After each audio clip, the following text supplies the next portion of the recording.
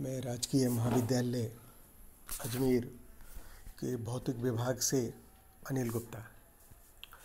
कल हमने potential barrier का आर्टिकल अध्ययन प्रारंभ किया था और उस आर्टिकल में मैंने बतलाया था कि हम फिजिक्स में जितनी भी पोटेंशियल प्रॉब्लम्स कर रहे हैं, इन सभी प्रॉब्लम्स की बहुत इम्पोर्टेंस है, क्योंकि फिजिक्स में जहाँ भी इसकी एप्लीकेशंस हैं वो एप्लीकेशंस को हम ये पोटेंशियल प्रॉब्लम बहुत मददगार हैं। उदाहरण के लिए मैंने आपको बताया था कि पोटेंशियल स्टेप केस में E less than B zero case में किस प्रकार से जो ट्रांसमिशन प्रॉबिलिटी है, वह मेटल के केस में बैलेंस इलेक्ट्रॉन के मूवमेंट को बताती है। उसी प्रकार से पोटेंशियल बैरियर की जो प्रॉब्लम है यह रेडियो एक्टिव न्यूक्लियस से अल्फ़ा पार्टिकल के डिके को समझाती है। तो सुपर कंडक्टिविटी में जोसेफन इफ़ेक्ट को भी समझा सकती है। कल हमने E greater than B case में ये लिया था कि E greater than B zero B zero potential barrier height है। तो उस केस में रिफ्लेक्शन और ट्रांसमिशन प्रॉबिलिटी एग्जिस्ट करती हैं। और दोनों के मान नॉन ज़ीरो होते हैं और यदि हम दोनों को जोड़ें P R plus P T ज्ञात करें तो इसका मान एक निकल के आता है। तो इस प्रकार से इस केस में भी conservation of probability flux establishment होता है। अब हम थोड़ा सा इस केस को फिर रिवाइज करते हैं। Suppose if E approach is B zero तो उस केस में ट्रांसमिशन प्रॉबिलिटी किस प्रकार से चेंज होगी? देखिएगा न्यूमरेटर डिनोमीटर दोनों में हमने फोर के वन के टू स्क्वायर का भाग दिया और के वन के टू की वैल्यूज़ को सब्सिट्यूट किया। तो इस प्रकार की एक्सप्रेशन ट्रांसमिशन प्रॉबिलिटी के लिए मिल रही है और जब हम इसे सिंप्लीफाइड कर रहे हैं तो ये एक्सप्रेशन रह गई है one upon one plus B zero sine square K two A upon four E E minus B zero हम जानते हैं जब लिमिट थीटा अप्रोच ज़ीरो होती है तो उस केस में साइन थीटा का मान थीटा होता है और चूँकि इस केस में ई अप्रोचेज भी ज़ीरो है, इसलिए साइन के टू ए के टू ए के बराबर हो जाएगा। इस प्रकार का मान का प्रयोग करते हुए के टू का मान रखें और हम ट्रांसमिशन प्रॉबिलिटी का जो मान निकाल लेते हैं, वह मान निकल के आता है one upon one plus M B zero square M B zero A square by two H cross square और इस एक्सप्रेशन को मैंने सिक्स इक्वेशन से मार्क किया है। खास बात क्या है कि इस केस में हम देख रहे हैं ट्रांसमिशन प्रॉबिलिटी का जो मान है, वो एक से कम है। मान लीजिएगा, मुझे ट्रांसमिशन प्रॉबिलिटी का मान एक चाहिए। तो एक चाहिए, इसका अर्थ है के टू ए बराबर एन पाई होना चाहिए। और के टू ए बराबर एन पाई होगा साइन एन पाई ज़ीरो हो जाएगा तो उस केस में ट्रांसमिशन प्रोबेबिलिटी का मान एक हमें मिल सकेगा। इसलिए जो पोटेंशियल बैरियर बिर्थ है A is इजिकस to N pi by K two और इसमें के टू का मान रखें। के टू का मान रखने पर हम डी ब्रॉगली कंसेप्ट को यूज़ कर रहे हैं, और डी ब्रॉगली कंसेप्ट को यूज़ करके जो पोटेंशियल बैरियर बिर्थ निकलती है, वो निकलती है A is equals to N of pi by two तो इस कंडीशन पर ट्रांसमिशन प्रोबेबिलिटी का मान एक प्राप्त हो जाता है।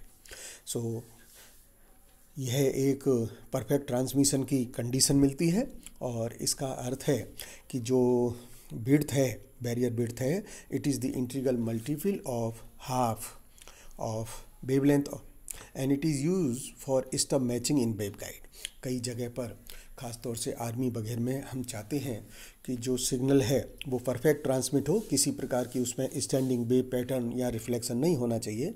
उस केस में ये कंडीशन बहुत काम की है। पोटेंशियल बैरियर का जो प्रमुख इम्पोर्टेंस uh, है जिसके लिए हम इसको डिस्कस कर रहे हैं वो केस है E less than B zero और E less than B zero case में हम ट्रांसमिशन प्रोबेबिलिटी देखना चाहते हैं। अब आप प्रारंभ से तीनों बातों को याद कीजिएगा। तो यदि E less than B zero है तो उस केस में केवन का मान समान रहेगा, क्योंकि उसमें बी ज़ीरो है नहीं, लेकिन के टू के मान में परिवर्तन होगा और के टू के मान में जो परिवर्तन है, वह मान हो जाएगा K two इजिकस to iota K dash जहाँ पर के डैश का मान है two M by H cross square B zero minus A पुनः ध्यान देखने की बात है कि फ़र्स्ट रीजन और थर्ड रीजन का wave function as it is रहेगा, यथावत रहेगा। जबकि सेकंड क्षेत्र का जो बे फ़ंक्शन है, वह मॉडिफाइड हो जाएगा, क्योंकि K two इजिकस to iota K dash है। और इस प्रकार से साई टू ये wave function for second region जो बनेगा, उसका मान होगा सी ई की power minus K dash A plus D E की पावर के डैस एक्स तो हम देख रहे हैं साई टू में चेंज हो गया है और प्रॉब्लिटी डेंसिटी अगर हम निकालें तो magnitude of psi two square आएगा। तो जिस प्रकार से हमने E great than B zero case में किया था, बिल्कुल उसी प्रकार से अब हम इस केस में भी ट्रांसमिशन प्रोबेबिलिटी को डिटरमाइन करते हैं। डिटरमाइन करने के लिए जैसे हमने एफ़ वाई ए वहाँ पर लिया था, वो यहाँ पर भी लेते हैं। और इस एक्सप्रेशन में हमें चेंज करना पड़ेगा, क्योंकि के वन एज इट इज़ है के टू का मान आयोटा के डैस हो गया है तो इसलिए के टू का मान आयोटा के डैस रखा और फिर हम साइन और कॉस के फॉर्मूले यूज़ कर रहे हैं और हमको B by F by A का जो मान मिल रहा है, वह मान है, ज़रा ध्यान से देखिएगा। Four iota K one K dash A E dash ई की power minus iota A K one divided by four iota K one K dash cos hyperbolic K dash A plus two K one square minus K dash square sine hyperbolic K dash A तो जिस प्रकार से हमने E great than B zero case में transmission probability का मान निकाला था, बिल्कुल उसी प्रकार से यहाँ पर भी हम ट्रांसमिशन प्रोबेबिलिटी निकाल सकते हैं। तो एफ़ वाई ए का जो मान आया है, इस मैग्नीट्यूड का स्क्वायर करना पड़ेगा ट्रांसमिशन प्रोबेबिलिटी के लिए। और जब हम इस स्क्वायर को करते हैं तो ट्रांसमिशन प्रोबेबिलिटी का जो मान हमें मिलता है वह मान मिल रहा है one upon one plus K one plus K dash whole square divided by four K one square K dash square sine hyperbolic square K dash A. K one और के डैश के मान हमको मालूम है तो हम अब अब के वन और के डैश की वैल्यूज़ को सब्सिट्यूट कर सकते हैं। जब हम वैल्यूज़ को सब्सिट्यूट करते हैं तो रिज़ल्ट हमें मिलता है one plus B zero square sine hyperbolic square K dash A upon four E B minus B zero minus E with in bracket minus one तो इसी प्रकार से हम रिफ्लेक्शन प्रोबेबिलिटी का मान भी निकाल सकते हैं।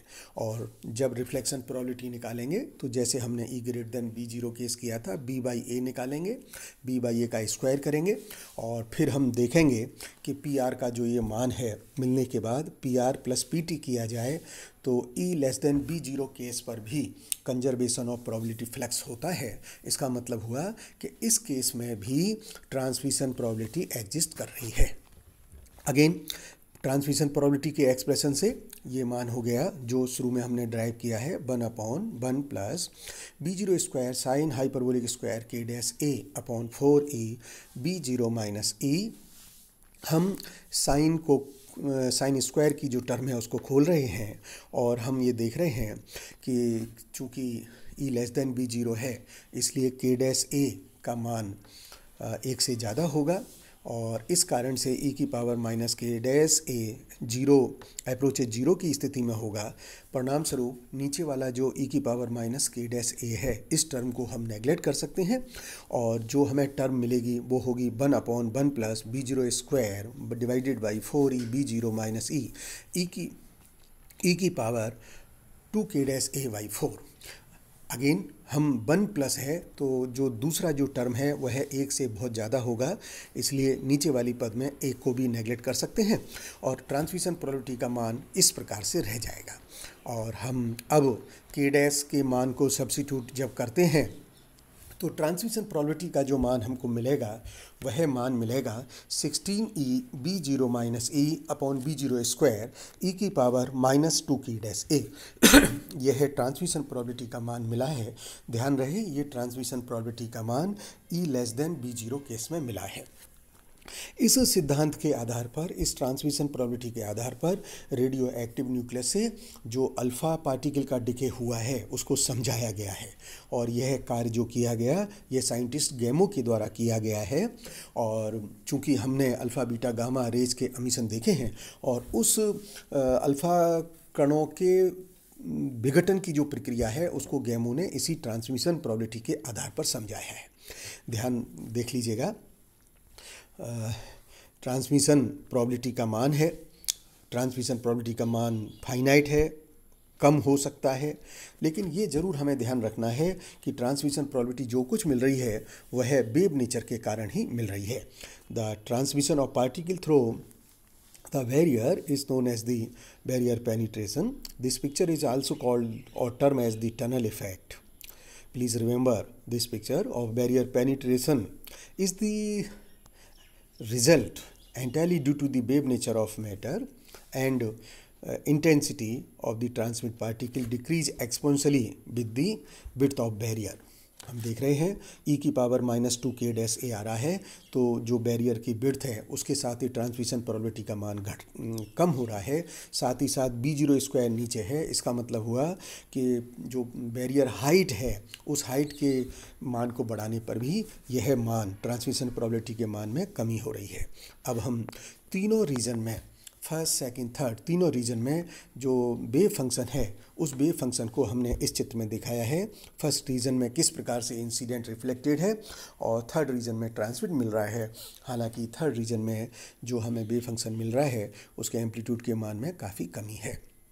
इस प्रकार की जो घटना है, जिसको बैरियर पेनिट्रेशन कह रहे हैं टनल इफ़ेक्ट कह रहे हैं, इसकी बहुत इंपॉर्टेंस है, क्योंकि emission of alpha particle reverse breakdown of semiconductor diode switching action of tunnel diode and electrical breakdown of insulator जैसे पिक्चर जैसे फिनोमिनस को हम पोटेंशियल बैरियर के आधार पर समझा पाते हैं।